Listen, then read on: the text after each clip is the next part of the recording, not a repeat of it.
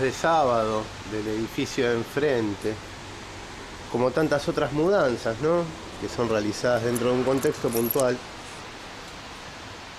Porteros de edificio leyendo el diario Clarín, porque son todos muy, muy de izquierda. Por eso colaboran con vos, FM La Tribu.